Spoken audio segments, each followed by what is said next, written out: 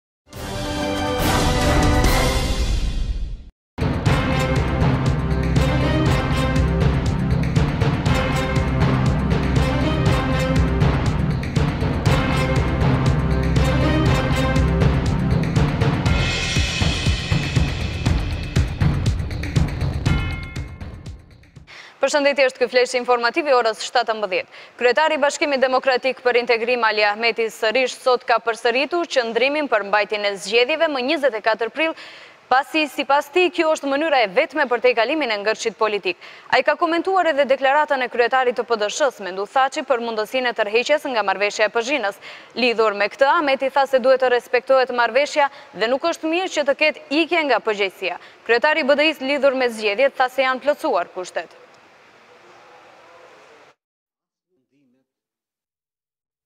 Ne do të jemi kontribues, ne do të jemi ato që do punojmë dhe do angazhohemi që mos tejkalohet dhe mos anashkalohet asgjë në drejtim të plotësimit të standardeve të mirëfillta, standarde të cilat janë të dobishme. Ne jemi të përgjithshëm, jemi të ndërgjithshëm që zgjedhje dosido dhe nuk na duhen, por ne vlerësojmë që pjesa dërmuese e marrëveshjes është materializu, është zbatu dhe pjesët të mbetura duhet të shfaqet vullnet i fort prej partive politike,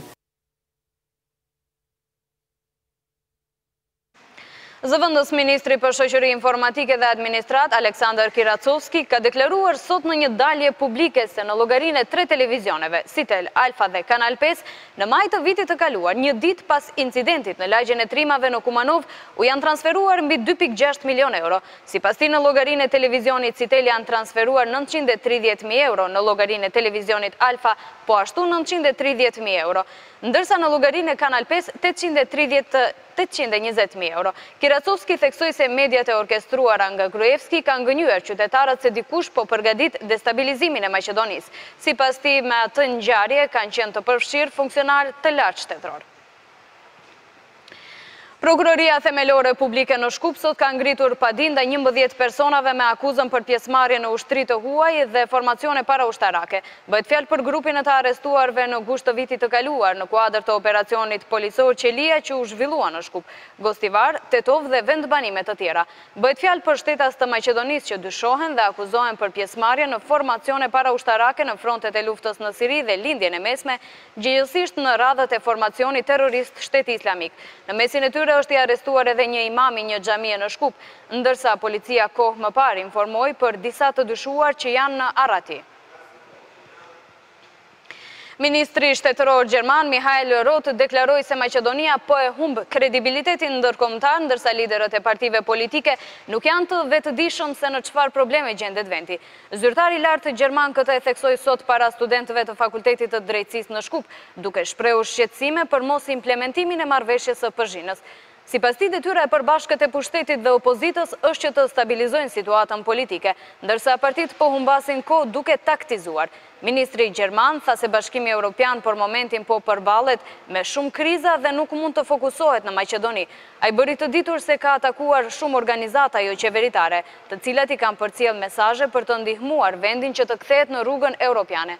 Ministri shtetëror gjerman para studentëve tha se të rinjët e këtij vendi janë ardhmëria europiane e Maqedonisë. Roth gjatë qëndrimit në Shkup ka takuar liderët e partive politike dhe përfaqësues të shoqërisë civile. U anulua ankandi për letra shtetërore me vlerë që ishte caktuar për sot. Në ueb faqen e Ministrisë së Financave dhe Bankës Qendrore ishin tërhequr prospektet për ankandin e sotëm ku qeveria Ofroi fatura tre mujore në vlerë prej dyqind e dyzet e katër mijë eurove dhe dy obligacione dhjetë vjeçare, me vlerë të përgjithshme prej pesëqind e gjashtëdhjetë e nëntë mijë euro. Ky ankand është shënuar në kalendarin e Ministrisë së Financave ku shkruan se nesër shteti duhet të kthejë tetëqind e trembëdhjetë mijë euro në borxhe të papaguara. Nga ministria përkatëse nuk kanë asnjë shpjegim nëse ankandi është mbajtur dhe cilat janë arsyet për anulimin e tij eventual. Këtë mëngjes ajri më i ndotur ka qenë në Tetovë dhe Lisiçe. Në Lisiçe janë matur përqëndrimet e grimcave PM dhjetë nga njëqind e tetëdhjetë e pesë mikrogramë në Tetovë njëqind e njëzet e pesë mikrogramë. Stacionet matëse në Karposh regjistruan njëqind e gjashtë mikrogramë, te Rektorati njëqind e gjashtë, në Gazibabë njëqind e katër dhe në Veles shtatëdhjetë mikrogramë. Gjatë natës së kaluar në krahasim me mëngjesin janë regjistruar përqëndrime më të larta Në Lisiçe janë matur pesëqind e nëntëdhjetë e një mikrogramë, treqind e tridhjetë e gjashtë në Tetovë, treqind e katërmbëdhjetë në Gazibabë, dyqind e gjashtëdhjetë e nëntë te Rektorati e të tjerë.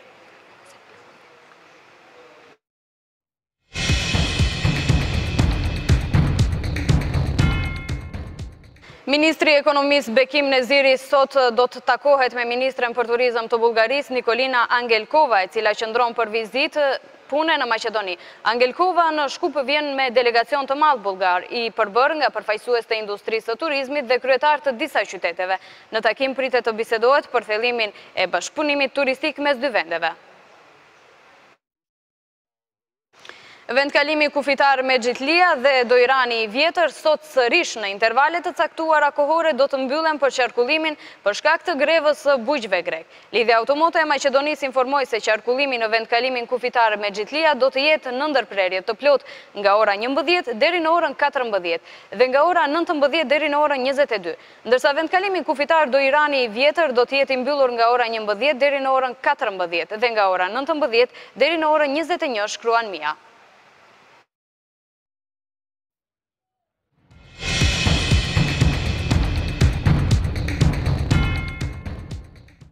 Moti sot do të jetë relativisht i nxehtë, temperaturat gjatë ditës do të arrijnë prej 14 në 22 gradë Celsius. Në Shkup temperaturat gjatë ditës do të arrijnë deri në 16 gradë. Ulje dhe ndryshim të motit pritet të ketë të enjten ku temperaturat do të ulen dhe pritet të mbretërojë moti i ftohtë.